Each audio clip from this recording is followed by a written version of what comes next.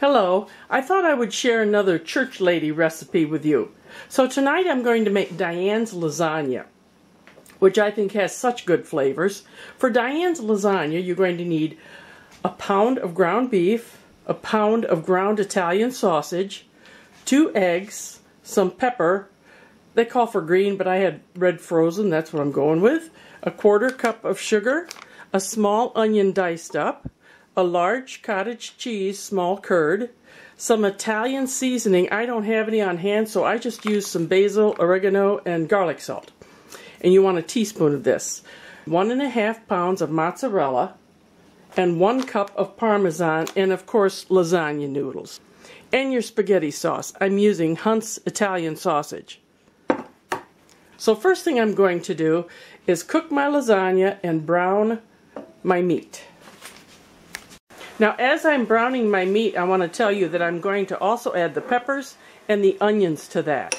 And in another bowl, I'm going to combine the eggs with the cottage cheese. And in another spot, I'm going to combine the sugar and the Italian seasoning with my pasta sauce. Now the reason for all the bowls is you're going to layer this. So I'm going to add the eggs to the cottage cheese.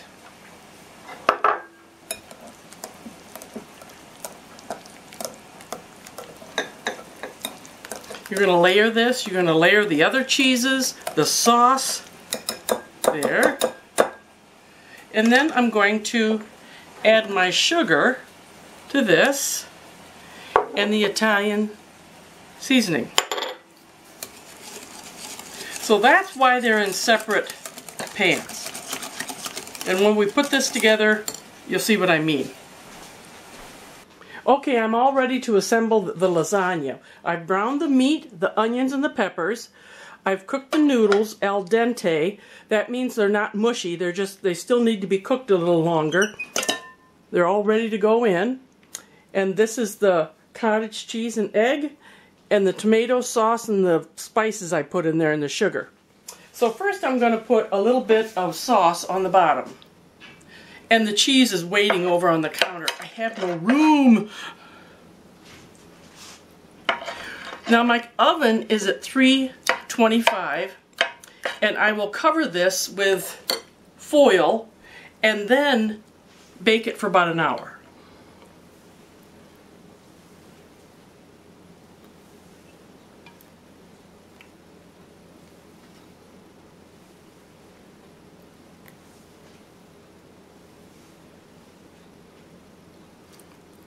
And because I'm rather anal, I got a little get a little bit down here where this, we don't want this end cheated.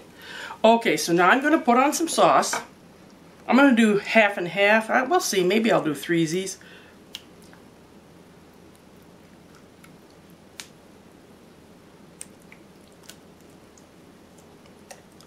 There.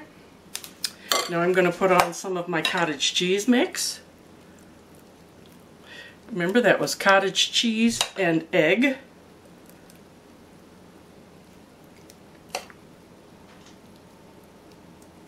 I'm going to put on some meat.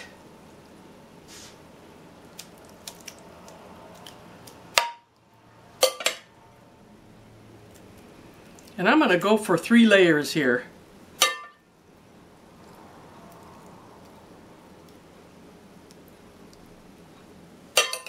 There. Now I'll put on some of the cheese. Here's some Parmesan. Now I want to end with cheese too, the, the mozzarella and the Parmesan. And we'll put on some mozzarella. And then I'm going to finish the process. Just keep layering. There we go. Let me get go. Let me get this done.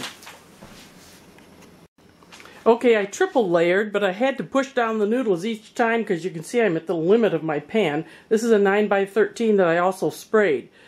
Now, now that I'm done, I did use only a pound of the mozzarella, but now that I'm done, you need to put aluminum foil on top of this tightly.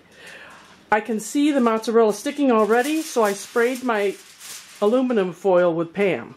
All set for the oven, 325 degrees for an hour. Look at this lovely lasagna. Now I forgot to tell you that when you bake in glass, it takes a little longer. So I had to bake this a little longer than the hour. But this looks so good. And I put a cookie sheet under it toward the end because it was starting to bubble over. Let me get a piece on a plate and I'll show you what I mean. Here we are, a beautiful piece of lasagna. Martin's been smelling it cooked with a little bit of bread and a salad. And it makes such a nice big batch. I had to take a piece out first because uh, it's kind of messy getting that first one out. But this is so beautiful. Smells so good. And it's so easy. Give this one a try during the holidays when you're sick of turkey or ham or whatever. Church Lady Diane's Lasagna. Until next time, bye-bye.